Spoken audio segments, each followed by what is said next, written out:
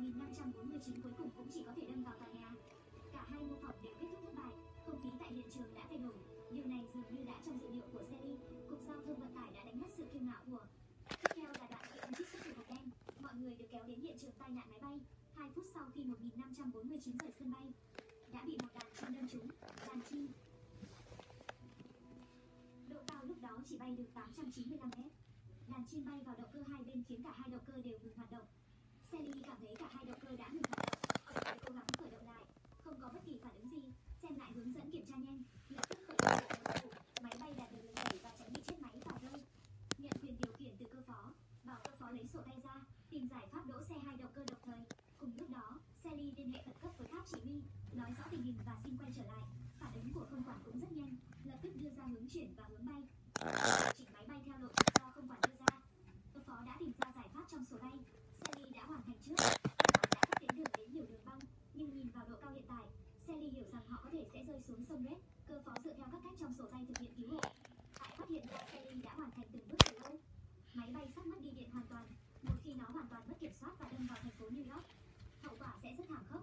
Không quân đã đổi hướng bay đến đường băng khác. Tôi không nghĩ chúng ta có thể bay tới bất kỳ đường băng nào. Có gì ở bên phải của chúng ta? Có phải sân bay Peterborough ở bên phải như York Đúng sân bay Peterborough ở bên phải. Kiểm soát sân bay LaGuardia có lệnh quay trở lại khẩn cấp. Đây là tháp Peterborough xin nói.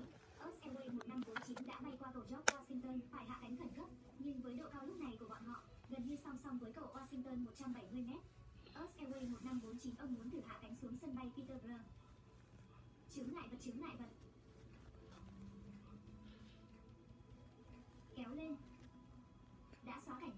Không thể khởi động quá 30 giây, công tắc chính của động cơ 1 và 2 xác nhận đã đóng. Đóng. Đợi 30 giây. Quá thấp rào chắn. Sally phải đưa ra quyết định.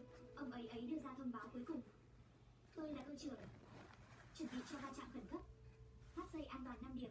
Tắt tín hiệu radar. Nỗ lực cuối cùng để khởi động động cơ. Không thể khởi động. Ta phải hạ cánh khẩn xuống sông Red. Quá thấp rào chắn. Cái gì xin nhắc lại US Airways. Quá thấp rào chắn.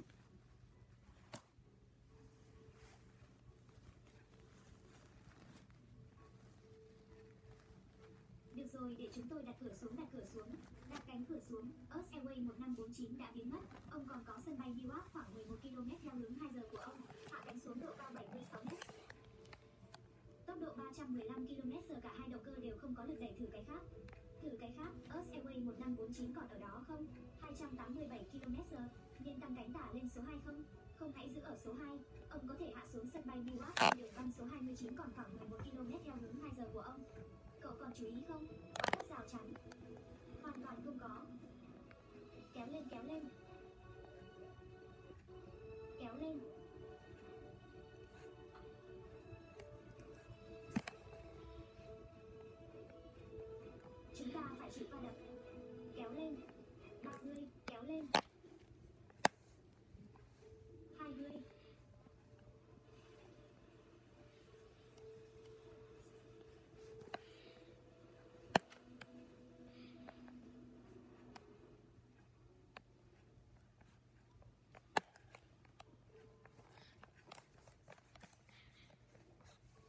208 giây